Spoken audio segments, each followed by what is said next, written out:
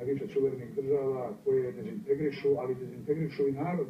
A mislim da bi to, pogotovo za srpski narod koji živi e, u nekoliko republika, imalo veoma teške posljedice. Inače je to bila možda i najdublja politička kriza unutar naših rukovodstava. Srpske vođe provele su led kujući zavjeru. Za nas je jedina povoljna verzija bila da Crna Gora povuče svoj stav. I onda je počeo da zvoni moj telefon, značajne političke ličnosti tamo, pitali su je li moguće da si ti postao izdajnik srpskog naroda.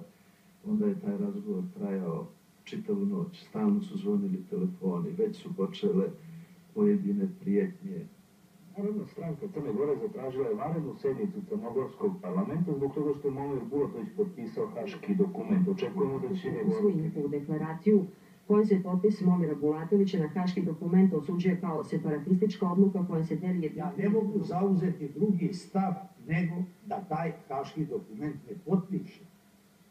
Ako je kriterijum dobre vlasti u Crnoj Gori i od naroda prihvaćene vlasti, poslušnost i apsolutna identičnost s onim što dolazi iz Beograda, onda ovom narodu ne treba vlast.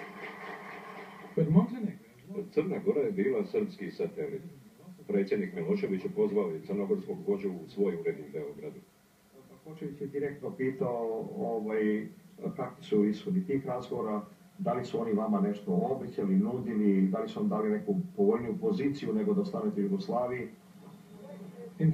U stvari, italijanski ministar inostranih poslova pružio je snažni poticaj crnogorcima da napuste Srbiju.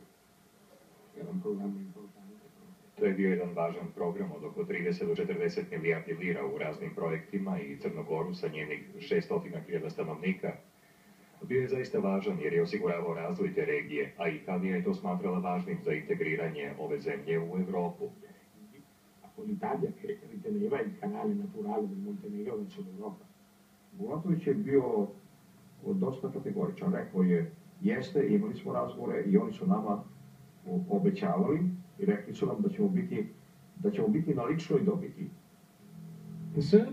Srbi su ponudili Bulatoviću da bira. Ili da se suoči sa javnim skandalom i političkom likvidacijom, ili da pošalje pismo Carringtonu u kome će crnogorski glas promijeniti u ne plan. Dosta teško, nategnuto, dosta preznojavanja i Bulatovića i Vukanovića i da su oni konačno, Bulatović je konačno prihvatio i napravili su taj tekst, potpisali ga i poslali ovaj gospodin Ja sam poslije tog amandmana možda bio malo manji izdajnik nego što sam u prvom trenutku bio karakterisan. I tako je Carringtonov plan sada bio mrtav. Milošević je krenuo da završi svoj rat u Hrvatskoj.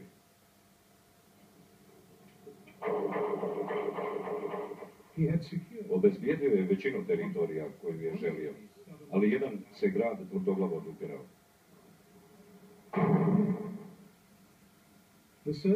Srpski generalštab poslao je vrhunskog generala da preuzme komandu nad završnim napadom na Vukovar.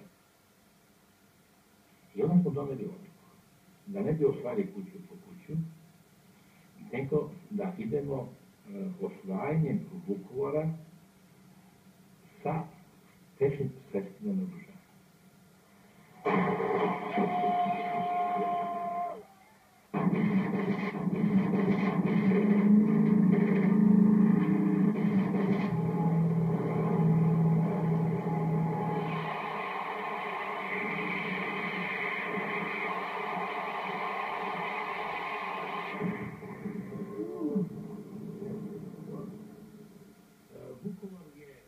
Naoružanja. grad ima dosta kuća koje su padine od slabog materijala.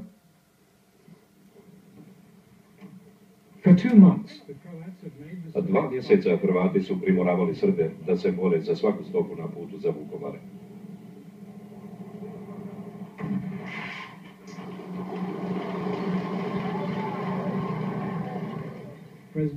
Predsjednik Tuđman procijenio je da je grad izgubljen ali Vukovaru je bila namijenjena još jedna uloga.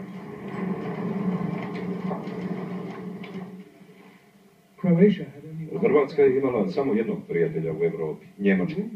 Da bi bila priznata, bile su joj potrebne simpatije i drugih. imala, kao što znate, veoma malo prijatelja za svoju samostalnost, sve do 91. Još potkaj 91. u vrijeme bitke za, za Vukovar. Stanovnici Vukovara ovisili su o skromnoj pomoći u oružju i zalihama koje se mogla prokrijomčariti kroz neprijateljske linije. Isporuke su prestale. Hrvatski komandant odlučio je da se lično obrati za pomoć predsjedniku. Krenuo je kroz okruč srpske vojske. Imali smo sreću da je kišica padala i onako kao mala, mala sumaglica bila.